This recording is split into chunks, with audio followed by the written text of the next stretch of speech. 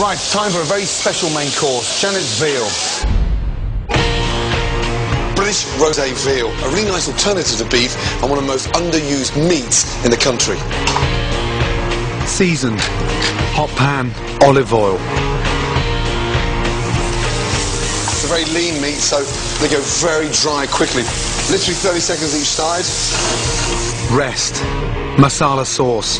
Fresh oil in the pan. Shallots. Really important to use the same pan. We want that flavour from the veal being sautéed. Mushrooms. Season.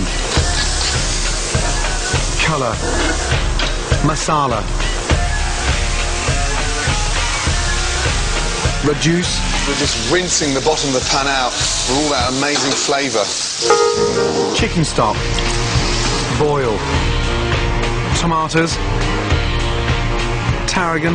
Chervil. Veal. Sit back in the sauce. It just adds that really nice, rich sweetness to the flavour of the veal. Little treasure chest. That British rosé veal.